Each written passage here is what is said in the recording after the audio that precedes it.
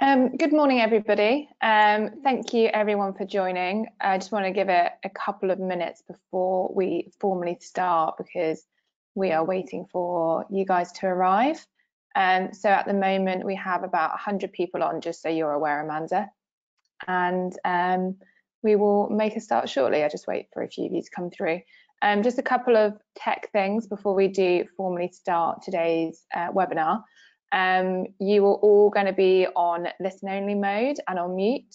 If you do have any questions, then just pop them in the question um, chat function on your screen for the GoToWebinar um, panel, and I will be able to respond to those.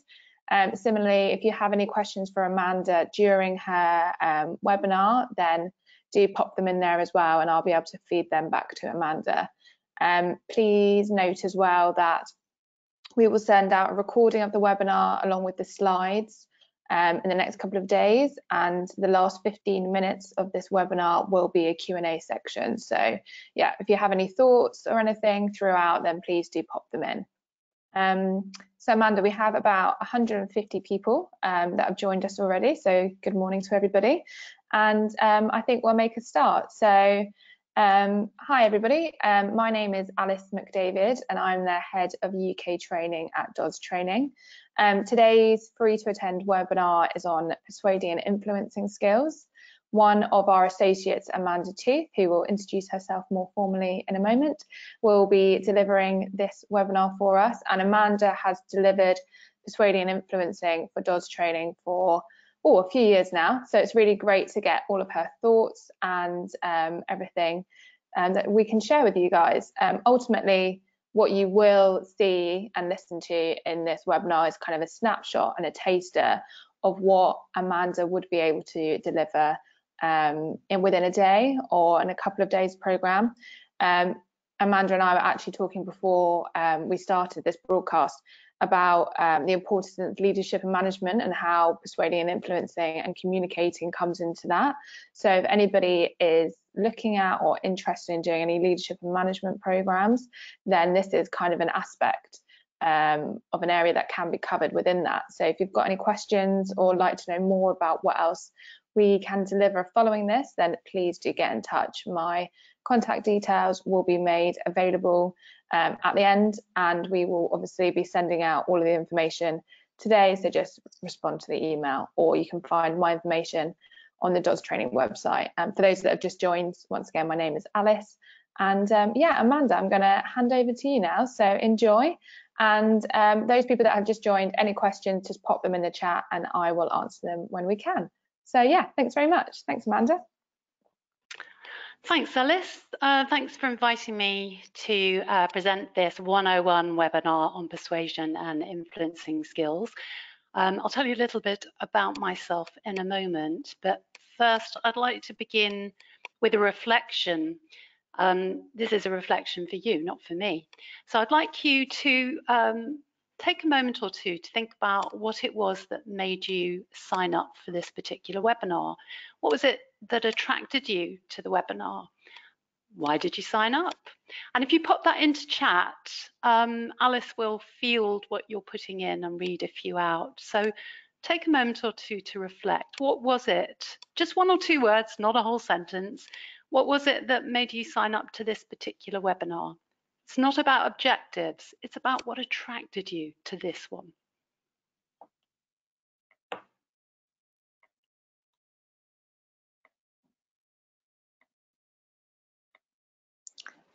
Um, so Amanda, we've got a couple of things coming through now. Um, Cheryl says um, the meaning gets lost in translation.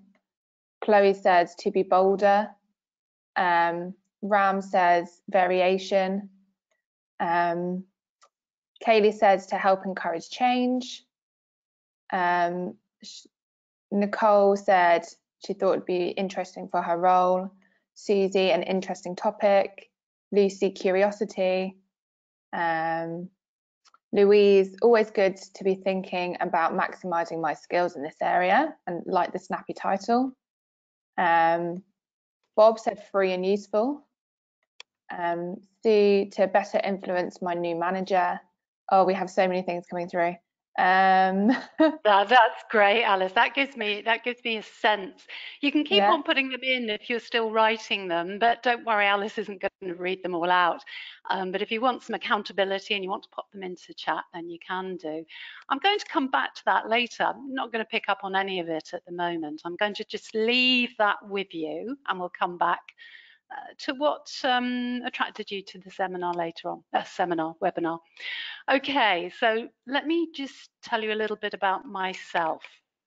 And you probably read in the publicity material, there was a, a bio, and the first thing you probably read was that I was an actress and a drama coach. And if you didn't read it, you know it now.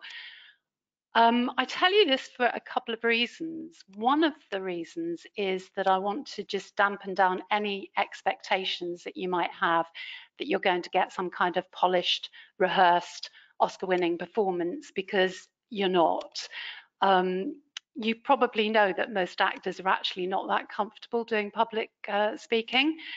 We're used to hiding behind characters. So, um, yes, expectations, lower them straight away. But the reason I mention it is that I trained in the method discipline and the method approach is an approach that instead of literally acting, you find the character and you find the role, you find the motive inside you, everything, no matter who you're playing, what you're playing, you find the resource in yourself so that you are authentic and you are genuine you are present, and that helps people to engage with you at a very, very genuine level. And that's essential when it comes to influencing. So that was the first thing that I wanted to say. The second thing I wanted to say about acting was that most actors, and you probably know this, spend 99% of their time, unless they're lucky, doing other jobs. And when I first started acting, I was still quite young fact, I think it says in my bio, I've got about 25 years of experience in this area, and I worked it out, and it's close to 40, which is a little bit worrying, but it is. So I don't know how I underestimated it. I must have been feeling uh, uh, different on that particular day. So I spent my first few years doing many different jobs, most of which were in sales and promotion. I sold advertising space. I did cold calling for people selling pensions and life insurance, and believe you me, that was difficult. I did in-store promotion and demonstrations, selling people things they didn't even know they wanted when they went into the store. And I even sold, sorry about this, timeshare. I sold timeshare for a Portuguese timeshare company, but I sold it from Leicester Square in London. And during all of this time, I loved it. I loved the work. I believed I was doing good. I believed that I was selling things people wanted because I don't think I could have done it if I had thought differently. And then one day, a manager said to me in one of the jobs, We need you to train someone else up. We need you to share your skills. We need you to share your approach, what you do, your methodology. And I was stumped. I had no idea what they meant. I was just being me. I was just engaging with people. I was listening to them. I was curious. I love the fact that someone said curious or curiosity earlier, so important. I realized that when I was engaging with people, I was genuinely focused on them. And I learned very quickly that people wanted solutions. They wanted something that was going to add value, that was going to be beneficial to them. And I could always find that in whatever product or item or service it was that I was selling, but at a very genuine level. So that's really where I first began learning how to influence and persuade and learning that from, from a very genuine place. That was career number one. Career number two, I retrained, and for the last 30 years, I've worked as a criminologist. So I've worked across criminal justice, homelessness, substance misuse, um, I've worked across the statutory sector, the voluntary sector, and most of the time my position has been in partnership. So working in contracting, commissioning, um, and doing a lot of negotiation. And naturally, a big part of that is influencing and persuading. So again, I was using those skills. But now I was becoming more conscious because it was a different sector. I was becoming more conscious of what I was doing, how I was doing it. And I became, yes, more aware of the tool I was using to ensure that I used the right tool at the right time with the right person.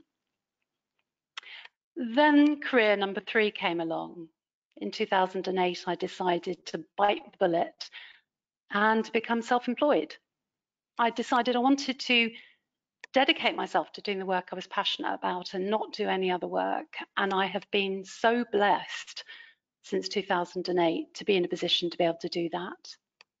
So I'm today a, progressive coach. I work with all kinds of people internationally, pandemic aside. I'm a consultant, a trainer, and a facilitator, and I'm an associate with Dods. Today, I spent most of my time helping people to fulfill their full potential leaders, managers, frontline staff, volunteers, and at the heart of everything I'm doing is helping people to find in them the resources they need. And no matter what you do, whether you are managing a team, whether you uh, write policy, strategy, whether you're in change management, influencing and persuading, will be absolutely core to whatever you do. So today what I'm going to do is share with you five common myths that I believe trip people up. And I'm going to share with you my three top tips, which are my three secrets.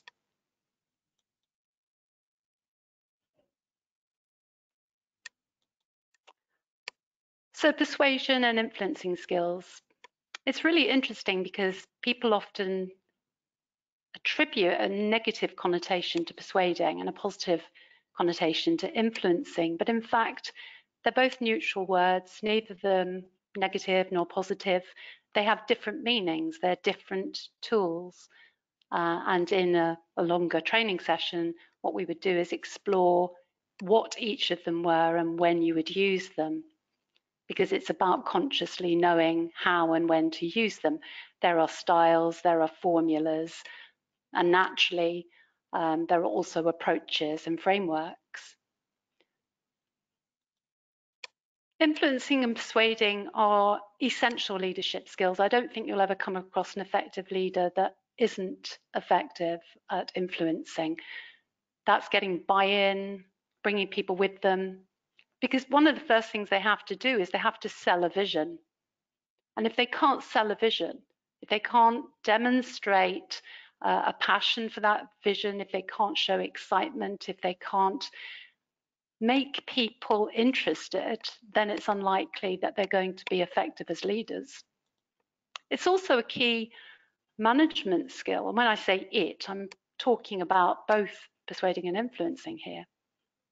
When it comes to managing people, we have to motivate, we have to help change behavior, we have to engage with people who may be disengaged. We have to sell concepts we might not be happy with ourselves, but we have to find a way to do that genuinely a strategy, a policy, a way of working. And to be quite honest, influencing and persuading are so essential just to life in general, whether it's trying to get an appointment or whether it's trying to get people to, to come around to an idea that you've got or a proposal you want to make. These skills are essential in everyday life. But I have to say, you're probably using them naturally anyway, because for some people, they just do come naturally. We are passionate about something and we can sell it because when you're passionate, you do. For some people, it's not quite as natural and for them, maybe there are areas that they need to strengthen and build. However, for all of us, these are skills and tools that we can continue to build. And we need to use reflective practice in order for us to learn from experience because we become excellent by reflecting on our own experience and learning from it. So what's the purpose? What are we trying to achieve? So we've got this tool bag as leaders and managers, and we've got a host of tools in there that we're going to use consciously. And what about this tool? When would we use it? What's this tool for? Whether you're making a proposal, whether you're trying to get buy-in to a policy or strategy, whether you want to influence one person, a group of people, the general public, whether you want to motivate, whether you just want to bring people around to your idea or get the team working better together. The truth is that you're going to make a proposal or a presentation or you're going to share an idea and all you want to do is to achieve a yes. Because the purpose of persuading and influencing is to achieve a yes.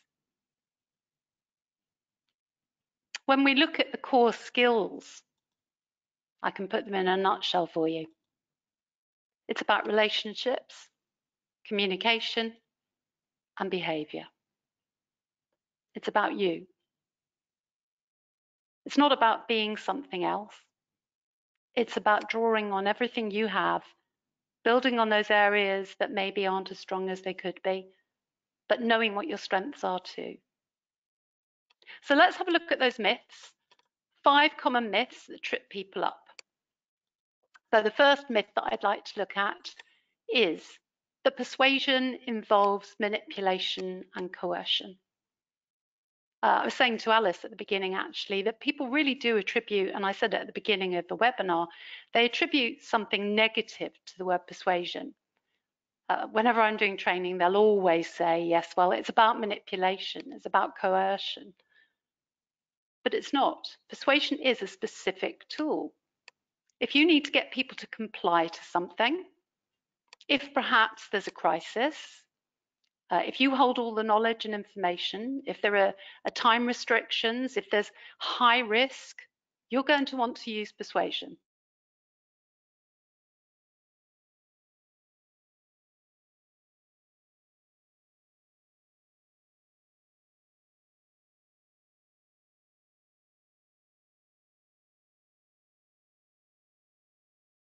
They can all be used negatively. You can influence negatively. Look at the world today. You can see many people that use influencing in a negative way. So it's not about the word um, or influencing being negative or positive. It is quite simply about the intention behind it. If your intention is to add value, if your intention is positive, to bring about benefit, then you will use either tool in a positive way.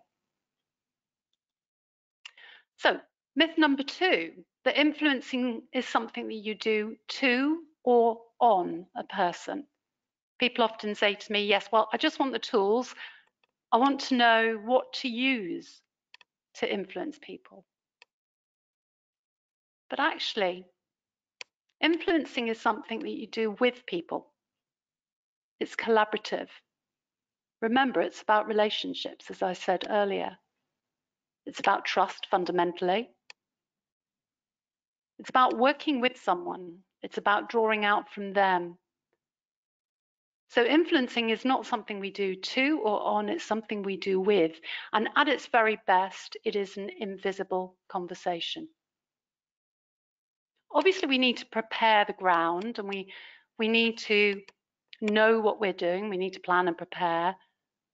But the sacred space of influencing, and that's not religious or spiritual, that occurs between you and the other person or the, the public. And the sacred space is where you and they come together and mix. And that's where the real influencing goes on. So, myth number three influencing is a rational process. So I hear this all the time. People want data, facts, information. We need to make our argument. We need to convince people. In fact, if you make your argument and you try and convince, you're more likely to get conflict. But actually, influencing is about hearts and minds. It's also political, political with a small p, but also sometimes with a big P political with regard to people's reputation, uh, their job, their position. Um, so there's a lot of it which is political, particularly uh, when we're thinking about influencing and persuading within the statutory sectors. But at its very core, influencing will always be about the rational and the emotional.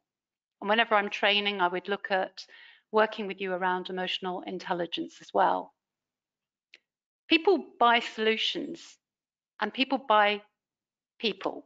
It is about relationships. It's also about ego and risk and what's in it for me. So you need to be appealing to the person. Of course, you need the data. Of course, you need the information. You need to be able to back up whatever it is you're saying. But at the same time, you need to appeal to the individual at an emotional level. So, myth number four. People who are effective at influencing prepare their strategy based on their desired outcome. Well, that is true to some degree. Of course, you've got to base your purpose and your influencing strategy on your desired outcome. You need to know what you want to achieve. But the key is the other person or people or group. Really effective managers, leaders who know how to influence focus on the other person. That's about finding out what's important to them.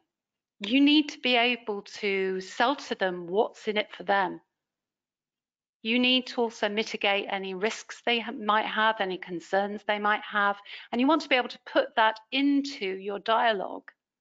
So you're answering potential questions that might come up, and you won't know what those are unless you do your research. So part of the framework of influencing is doing your research and finding out about the other person or people or the public, what they might need. But the most important thing is finding out when you're with that person, truly engaging with them, asking great questions, listening to them. They'll give you all the clues. They'll give you what's important. And then it's about being flexible and framing your message to meet their needs. Because influencing is really about the other person. Myth number five. Effective influencing requires a good poker face. That means we mustn't show too much emotion, surprise, shock. I'm afraid this is the worst myth of all. If people buy you if it's about relationships and behavior and communication, it must be genuine. It must come from an authentic place. Authenticity is the key. From a place of authenticity, you can be flexible. From a place of authenticity, you can create trust. You don't have to like each other. You can have opposing views, but you need to be real. You need, need to be engaged. The key is to be congruent. Who you are inside is the way you're behaving. Then you need to be consistent. And you also need to have a certain level of confidence in the uh, premise that you're putting across, the idea you're putting across, trying to get the buy-in, the team, whatever it might be. You obviously need to have confidence to be able to do that. So having a poker face, I'm afraid, is a terrible myth. Um, the most important tool you have is you. You have all the resources you need. You may need to develop things, and I suspect that we all do. But the key is the starting point. What are you already good at? What are you already strong at? And building on that. So they're the five myths that most often, in my experience, trip people up. So let's move on to my tips, the three secrets. So I call these the three P's in the pod because they, well, yes, I'm sure you guessed it, they all begin with P. It's very strange doing this webinar. I hope that you're all still there. Um, I can't see you and I can't hear you and I can't feel you but um, I'm hoping that you are still there and my signal hasn't gone down. So let's move to the secrets. My three secrets, you've got some images, some icons there that might be giving you some clues. So let's have a look. Don't tell anyone about these. These are my secrets. Um, Amanda, really quickly, just so you're aware, I've got people saying that they are here. Pete says hello. oh, everyone thank you. you. We've got um, 190 people on, so yeah, it's all That's good. Thanks, Alice. I think That's it's okay. more it's more about when you can't hear, you can't see, and you can't Yeah. feel. It's yeah. Thank you for that, and thanks for those that that um, that chipped in and said that they were there. Glad to hear it. Okay, so if we're ready, we've got the secrets. Okay, so secret number one, preparation. Secret number two is position. Secret number three is presence. So let's go. I've noticed already an error here. I've lost my N, but there we go. So the first one I wanted to talk about is preparation.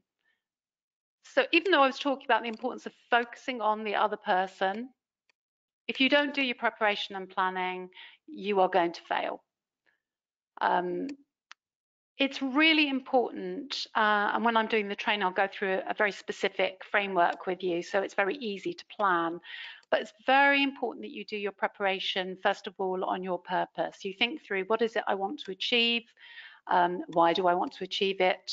Um, what's it going to look like? You need to really think that through. Then you do need to look for the evidence, the information, and the data to support you because the, the rational part of it is important. Once you've started to, to get an idea about what you want to achieve, you then start to look at it from a different point of view, which is from the other person or people's point of view. And part of your preparation will be secret number two. And secret number two is your position. So the position that most people take, and this is where they fail, is their own position. They look at it only from their own perspective. But the key is to look at it from your perspective and then to look at it from their frame of reference. So that means genuinely suspending any judgments and seeing it from their point of view. How might things look? What might they need? What might they know? Remember that people buy solutions, not problems. So what problem are you solving? What benefits are you giving them?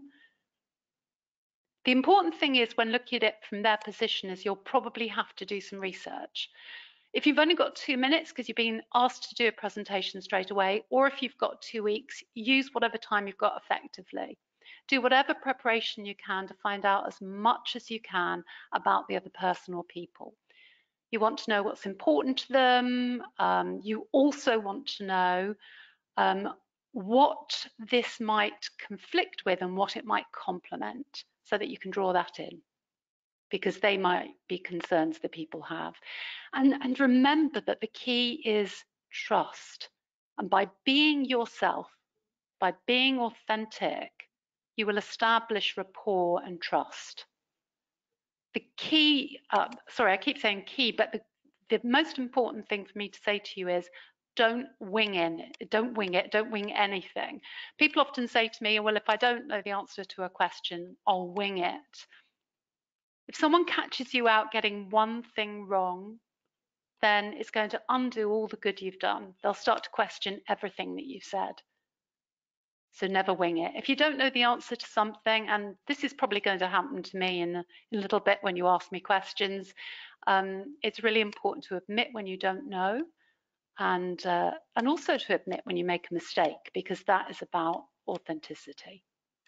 So with regard to positions, seeing it from their point of view uh, and then looking at what they might need um, and doing as much research as you can.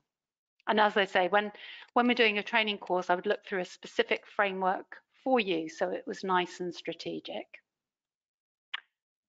And secret number three probably won't come as any surprise at all because I've been touching on it all the way through. And that's about presence. That's about that sacred space, about being engaged with the person or the people you're talking to. To be present, we need to get out of our head, and I don't mean on alcohol. We need to be in that sacred space. So to get out of your head, you need to make sure you're prepared so that you're not worried that you're not going to know something. Because when we're truly engaged, when we're truly present, what we need will arise. So engage, which will help you then to really listen to ask great smart questions that will elicit from the other person information that you need that will help you to reframe what you're uh, trying to sell, promote, share, change in a way that is meaningful to them. The other important thing to remember is when you're truly engaged and you're truly listening to people, they feel heard. And when people feel heard, it really helps to build rapport and trust. Five myths, three secrets. And now we're back to the reflections. What made you sign up to this particular webinar? Hmm.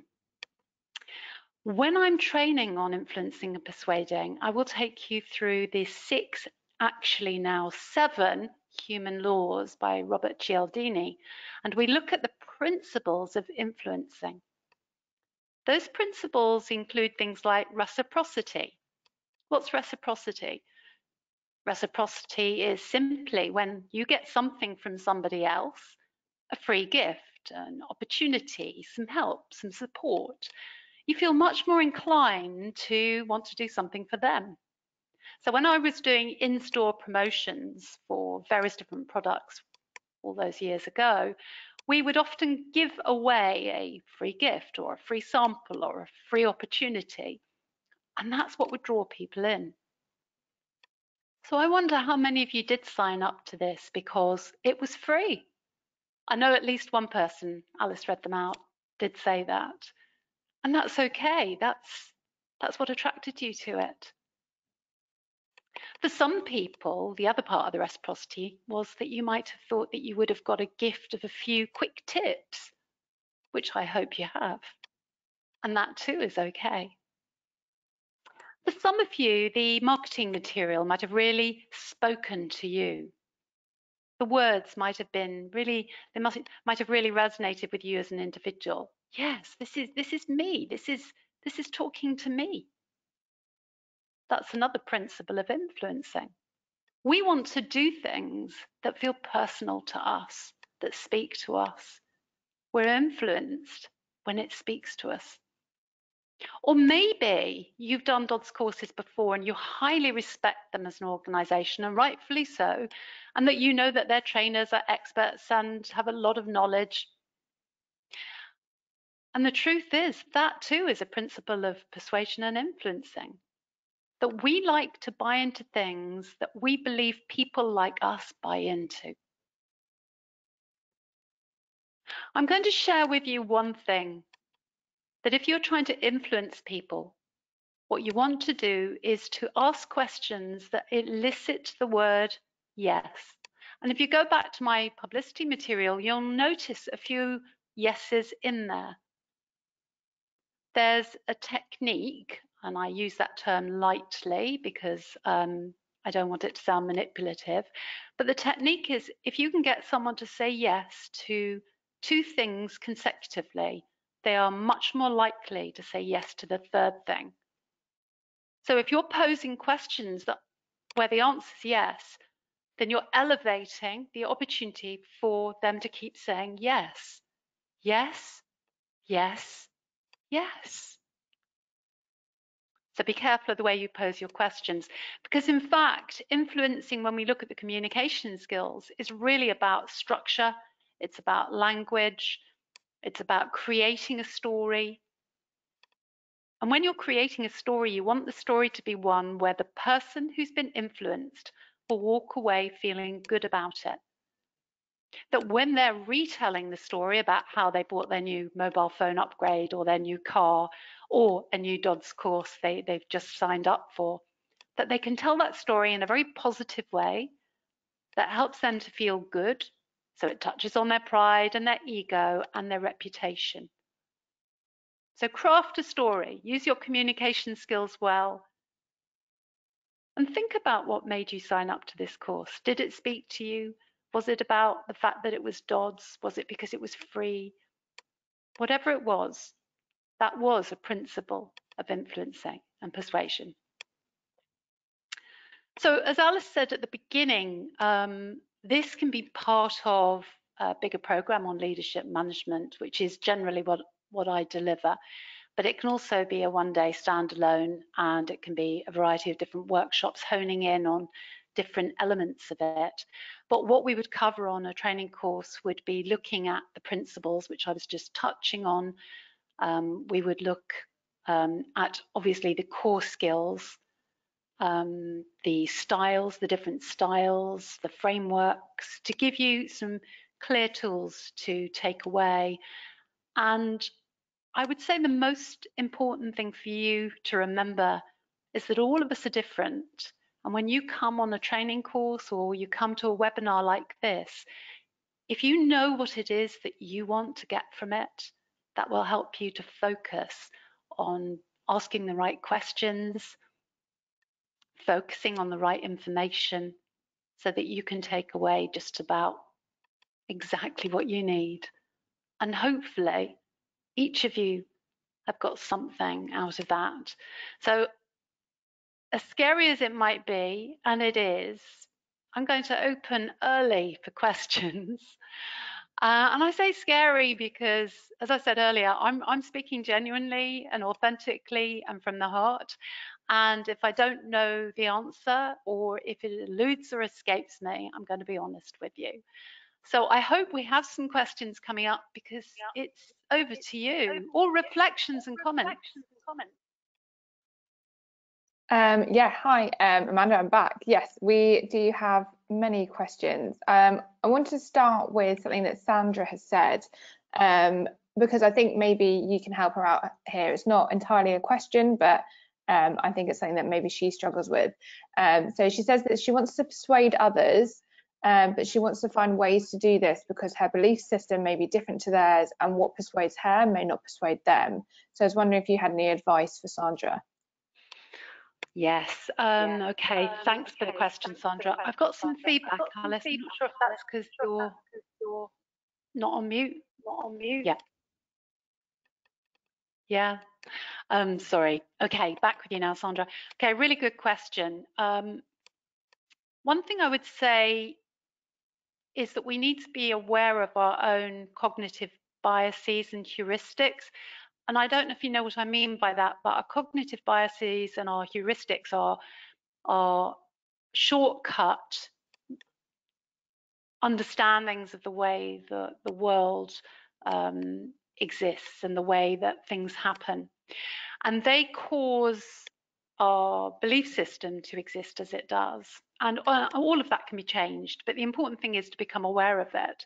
So the first thing I'd say is that by becoming aware of your own belief system and some of your own biases and some of your own heuristics, which are your, as I say, your, your shortcuts, your um, how you connect things together is the first starting point. So it's about you. So reflect on you and develop your awareness. What am I bringing to this? What am I feeling? What am I thinking? Then it's about what am I trying to achieve here? So it's going back to that planning stage and being really clear about your purpose and then look at it from the other person's point of view, as I said. When looking at it from the other per person's point of view, you may not know their belief system. But what you can do is do as much research as possible about that person and think about what might be important to them. Sometimes it's known as their, in business, it's known as their currency. Is their currency their reputation? Is their currency being right? Is their currency um, being being in control? So knowing what's important to them and then trying to reframe the thing that you are selling or persuading them with in a way that you believe will resonate with their currency, with what's important to them.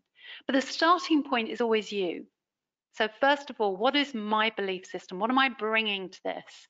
Because the belief that trips us up most often is the one that sounds ridiculous. We don't believe in what we're doing. We don't believe in what we're persuading the person to do. So, for instance, sometimes I'm working with a leader or a manager who's working on a change program and they, they haven't fully bought into the change, change program themselves. they're trying to persuade their team that it's a good idea, but they haven't bought into it themselves. And if that's the case, your belief system will affect the way that you behave. You won't be congruent. So congruence is, as I said earlier, that who I am inside marries up with how I am being externally, so the way I'm communicating, the way I'm speaking. And if I don't fully buy into the change program, it's going to come through. People may not know, but they will feel it. So begin with you. Do you believe in what you're trying to persuade uh, uh, people into believing, into doing, into feeling, into signing up for, buying into? Then look at it from the other person's point of view and see if you can identify what their currency might be what's important to them. Sometimes it's about them being right. And sometimes what you want to do is to propose or to frame your idea in a way that allows them to own it themselves. So you could share it with them in a way that, that links up with things that they may have said or done in the past that associates it and can lead them to believe that actually it's their idea. So know their currency, Look at your own belief system. Do you believe in what you're doing? Do you believe in yourself? I hope I hope that answers your question, Sandra. Uh, thank you, Amanda. Um, I've got another question here from Jenny that says, what happens when you're successful in influencing someone, but they are then further influenced in a different way by another colleague? Do you leave it or do you try try them again? So i.e. when somebody's very easily influenced, what are your uh, recommendations there? Mm, okay, so when I'm doing a training course, one of the things I get people to do, and I will get you to do if you go on a training course, is to identify the people that you want to influence. So you would look at an immediate um, need to influence. You would look up who you're trying to influence, and then I ask you to think about who might have their ear. Because a mistake we make is that we influence the wrong people. We assume that this is the person we need to influence, but we don't think about who has their ear.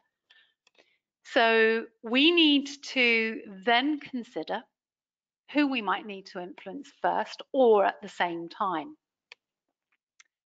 Sometimes when we scope out who are the stakeholders related to who we're influencing, it can be really quite interesting who they are. They could be family, they could be friends, they could be managers, they could be um, people that they manage themselves. But Helping to influence the person you want to influence means knowing all the stakeholders, scoping that out, and trying to find a way to influence them first. And it also often means getting your own superiors, managers um, to buy into what you're doing as well so that you can get from them maybe some, you can tap into some of their knowledge and experience about the person you're trying to influence and the stakeholders that might have their ear. So i am not going to give you any kind of tips at this point, except to say, have a look and see who you think might have their ear. Sometimes it's hard to gauge, but who might know? Sometimes receptionists, administrators, PAs, you can have informal chats with and uh, ask good questions and you can find out maybe who they are influenced by. Then it's looking, well, you're not going to ask directly that. You might ask who, who else might have an interest in this policy? And where else might this policy link to? And then, of course, you need to do some more homework. So it's about prevention more than cure. It is about thinking this through beforehand. However, if it has subsequently happened, uh, the other thing I would say is that you are going to find it difficult to bring people around because they don't like um, the idea that they've changed their mind and now you're trying to change their mind back. So you might actually need to look at a different way now of approaching it, which may be to start thinking about how you could influence the person who had their ear. So it is about prevention rather than cure. It is about thinking through the other stakeholders. And it is also about getting people involved. So this is a prevention bit as well. So I'm sorry, it's not about cure, but it is about prevention. There's something called the IKEA effect. And it's pretty obvious, really. The IKEA effect is that we put much more value to things that we're involved in. So the story goes that a man knocks at a door and he offers this lady uh, an IKEA table or a table that you had to put together and left it with her. And she put the table together and she used it. And a week later, he knocked on the door and he said, Hello, I've got the same table, but it's ready made up. Can I swap? And she said, No. And it didn't matter that her table wasn't that well put together. It didn't matter that it was a bit wobbly. But the table she'd put together, she had invested in, she'd been involved in. So if we think there are people that have the ear of the person we want to influence, we need to get them involved somehow because people will buy into things that they're involved in. So that's that's where I'm going to leave it with you. No no tips um, for how we might influence them afterwards, other than to say to look at it maybe now from a different perspective. So having a look at it from the position of the person you influenced and why now they might have changed their mind. And that, actually the other thing that comes to mind, and it's again a preventative thing, is we often leave the table without signing the deal. And that's a, a metaphor. So if you have influenced someone, ensure at the end that you decide on the next steps. Ensure at the end that there's some verbal and written agreement of what has been agreed and what you're going to do. So even if that means afterwards putting it into an email and sending them an email saying, this is what I'm going to do, this is what you're going to do. Because actually, once something's in writing, once it's been agreed, people are less likely to go back on it. Okay, so back to you, Alice. That's really helpful. Thank you, Amanda. And I think this next question from um, Sue Khan might kind of link to that and what you were saying about communication and the importance of that as well. So um, Sue Khan says, hello, Amanda. Do you have any good questions to get to know your new manager and their work style, please? Mm, mm. Lovely. Thank you. So I find it I find it so intriguing that people don't realize how much other people love to talk about themselves. Being curious about somebody means asking great open questions.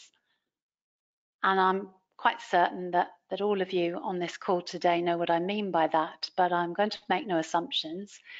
An open question is a question that allows the person to answer in whatever way they want and there is a specific technique that you use which is called the five W's and the H, which is what, where, when, why, how, and who. And if you begin any question with the five W's and the H, it will be open. You can then use a, a subsequent question, but don't begin with this. And it's known as, it's an acronym and it's known as TED. And it stands for tell me, explain, describe. So we don't use all of TED, but you could use one of them. So open questions allow people to flow, to talk, to answer however they want. The key is to be curious.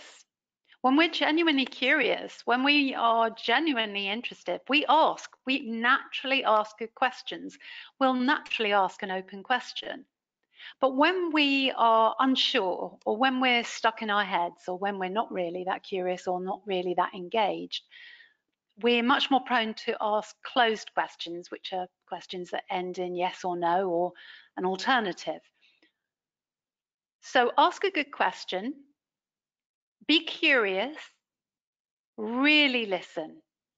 So when I say really listen, I mean listen to what they're saying, listen to the way they're saying it,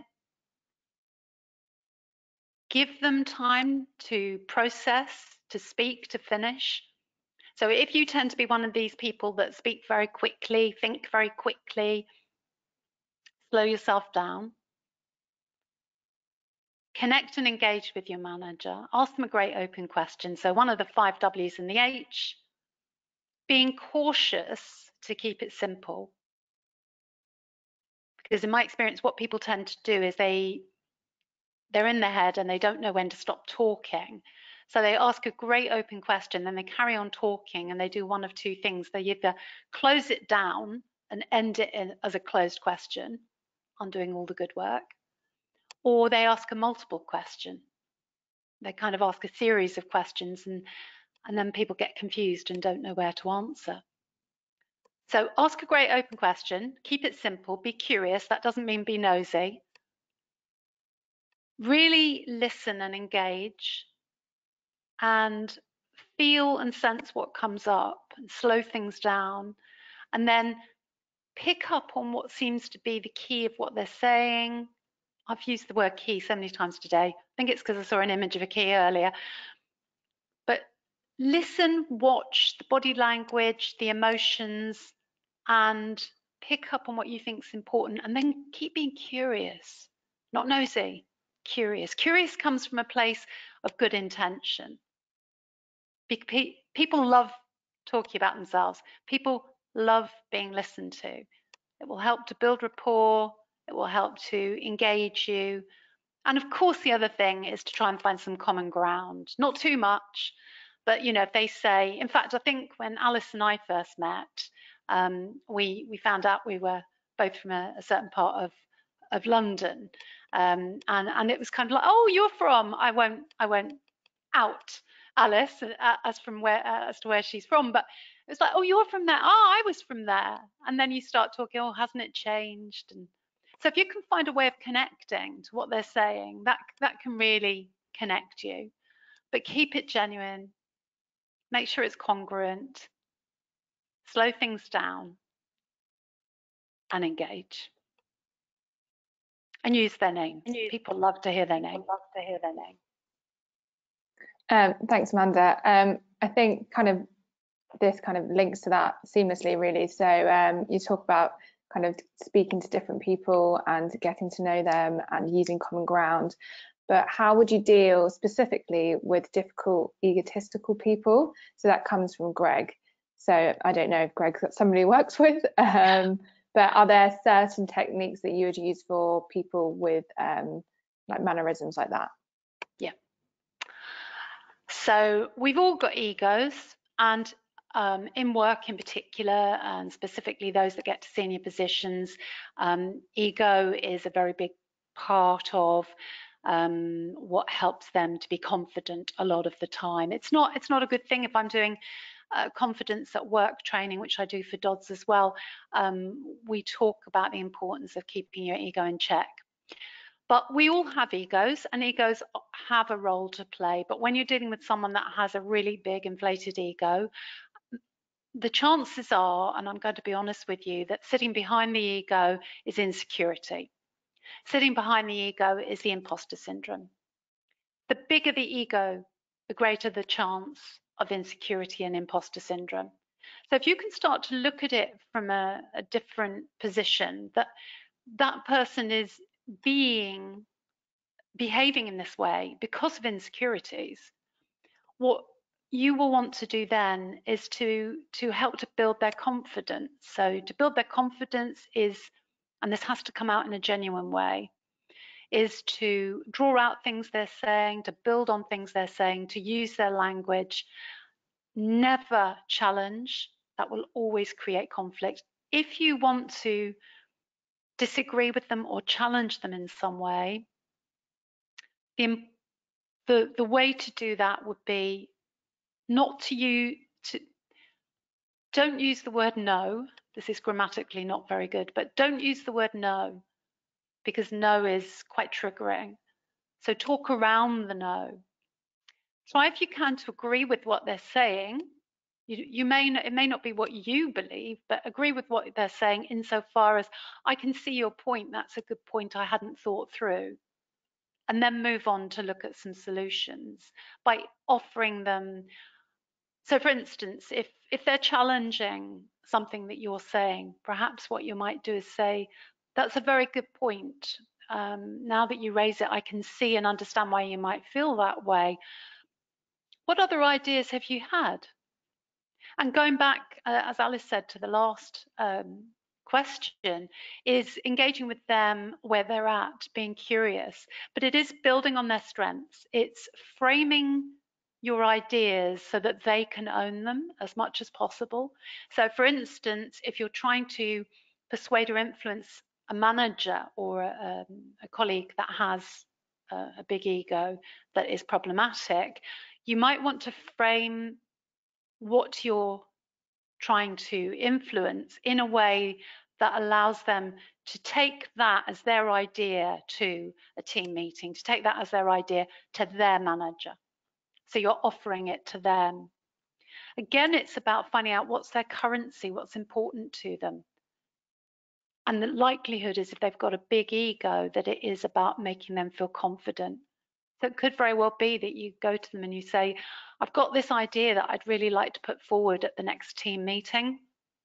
And I've noticed that um, people really listen to you and I wondered whether you might uh, support me in putting this forward. In fact, maybe you, if you have a look, and if you feel that it's something that you could, um, you know, put your put your name to, perhaps you would like to take it forward to the team uh, instead of me. So build on what they do well. Try to find out what their currency is. Make them feel confident. Try not to challenge them, to criticize them, um, but all of this needs to play, come from a genuine, authentic place. Um, thanks, Amanda. I'm very conscious of time, but I just wanted to ask one more question that people seem to be um, flooding the chat with. Um, obviously, in the last year, things have changed dramatically drastically and dramatically. Um, and the way that we're persuading and influencing and communicating with people is very different to how it once was. So I was wondering if you could maybe give us a two minute explanation of how we can now do this online better. And also just so everyone knows, this is something that we are able to deliver in um, like a one day course as well if you're more interested in how to persuade and influence online like in this new normal as everyone keeps saying that I'm sure we're very fed up of. But it is the way of the world. Um, so yeah if you could kind of give us your thoughts and reflections on that that'd be really helpful Amanda to end with. Yeah. Yeah so I'm, I'm glad you raised that, Alice, because um, first of all, I've been, as as we all have, um, I had a very quick learning curve and had to move everything online uh, just over a year ago. And as a progressive coach, I, I never did any coaching online because I believed that I had to do it in person. I had to feel the people. I mean, I don't mean physically. I had to feel them emotionally. I had to be in the same space as them to be able to coach. And I've been coaching more over the last year than I've ever done. And it has been to some degree more effective. So I know that I'm talking about coaching here, but the reason that I think it's been more effective is that people have been in their own surroundings. There's been a level of vulnerability that I don't get when I'm in person with them to, to the degree that I've had it remotely. So the reason I mention that is let's see the benefits in, in what we're working with at the moment, not throw the baby out with the bathwater. Everything I do at the moment is online, but I have to um, change a lot of what I do because you can only see a small part of me now and my face is huge. So what I would say to you is it's really, I mean, my face isn't huge. It's huge to you over the webinar.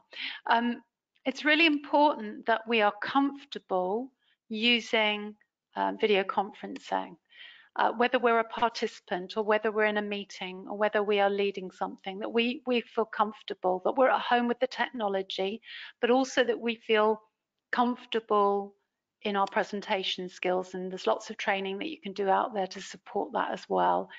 And to remember that they can only see a small part of you. So you need to use, be really aware of your face and your facial expressions because they show up really you know, uh, they're exaggerated. You need to slow things down. And um, when you're trying to persuade and influence, actually, that is the key. You need to slow things right down. Simplify, slow it down, and use your ABC, which is make sure that your message is accurate, brief, and clear. So keep it simple. That would be what I'd say. And, and become familiar, become confident, and just engage. But do remember that your face will be magnified.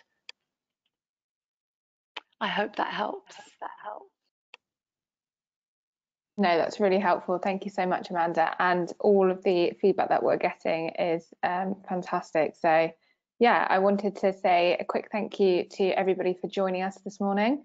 Um, as Amanda has said, this can be delivered as a one-day course or um, or more, depending on what sort of program you're after. And also, if this is something that you just looked at for an hour, we will be sending out the um, the recording. So please do share it amongst colleagues if you just think that this snapshot is going to benefit them as well. Then that's what we're here to do. We're here to help you. Um, and if anybody has any questions, then please do get in contact. But um, we are two minutes past, so we're going to leave it there.